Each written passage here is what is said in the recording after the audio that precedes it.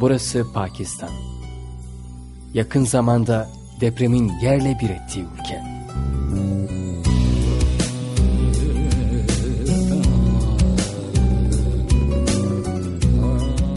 Burası Pakistan. Sıcak bir yuvadan mahrum insanların ülkesi.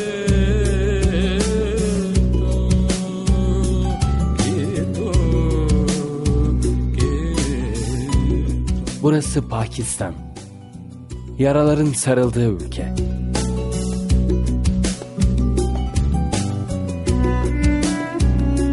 Burası Pakistan. Bizim ülkemiz.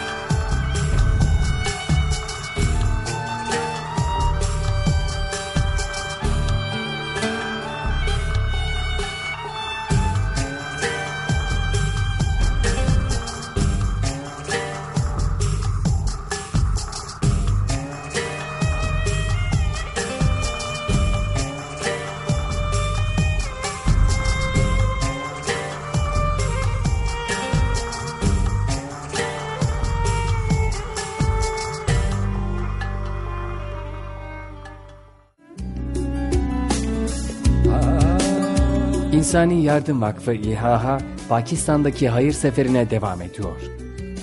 Depremden sonra evsiz kalan insanlara kalıcı konut, gıda ve sağlık yardımlarını ulaştırmaya devam ediyor.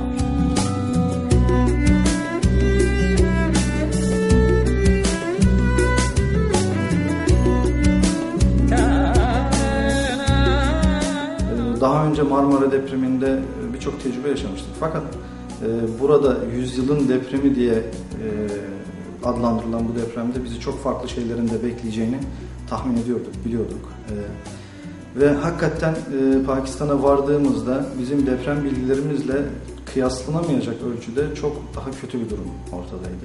Ee, ve orada mesela gördüğümüz bir e, enteresan bir olay, bir dağın yaklaşık 3 kilometre boyunca ikiye ayrıldığını, ayrılan kısmın, düşen kısmın bir nehri kapattığını ve daha sonra e, nehrin kapanmasından dolayı yerleşim yerine doğru hareket eden nehri Pakistan hükümeti e, bombalayarak, dinamitleyerek açmak zorunda kaldı ve bayağı zor bir işlemdi. Büyük bir felaketi de önlemiş oldular orada.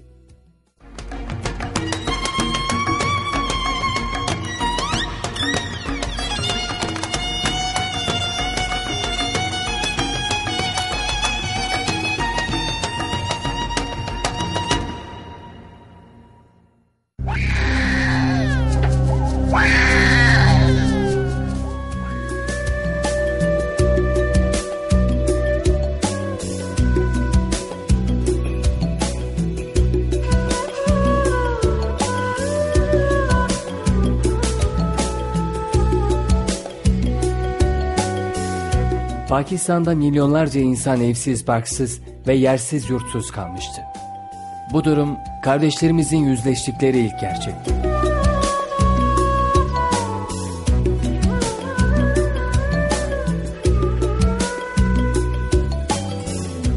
Kışların sert geçtiği ülkede İnsani Yardım Vakfı İHH'nın kışlık çadırlardan oluşan çadır kenti de bölge insanı için bu gerçeğin yaralarını sarmada hayati öneme sahipti şüphesiz.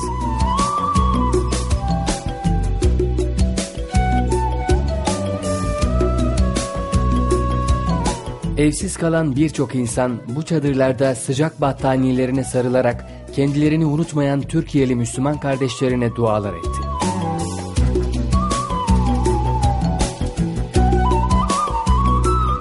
Kurulan çadır kentleri depremzedelerin kışı atlatmaları için pansuman tedbir olarak değerlendiren İHH, Pakistan depreminde evini kaybeden kardeşlerimiz için 12 Mart'ta kalıcı konut temel atma töreni gerçekleştirdi. Deprem meydana geldikten sonra e, ilk etapta acil olarak e, bölgedeki insanlar için yazlık çadırlardan müteşekkil 200 çadırlık bir çadır kenti kuruldu. E, o ilk andaki ihtiyacı karşılamak amacıyla yapılmıştı. Bunun akabinde o çadırlar kışlık çadırlarla yalıtımlı, daha büyük, daha uzun çadırlarla değiştirildi. Tabii bunlar yapılırken bir yandan da biz bölgede bu insanlar için kalıcı yerler, hayatlarını sürekli idame ettirecekleri evlerin inşası için yer arama, e, inşaat malzemesi ayarlama gibi işler yapıldı. Daha sonra e, ilk etapta Batal kasabasında e, 20 evin temeli atıldı. Şu anda inşaatları devam ediyor. Çok kısa bir zamanda bitecek ve bu insanlar e, çadır kentlerden oraya yerleşecekler.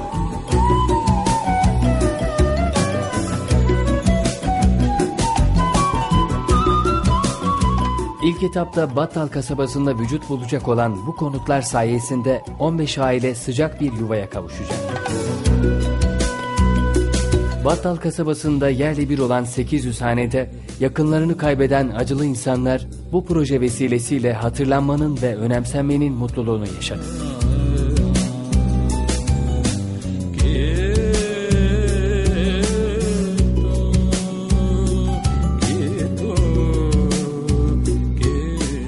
Bölge Kaymakamı Serdar Yusuf Bey'in kurdeleyi kesmesiyle başlayan tören dualarla ve gözyaşlarıyla son buldu.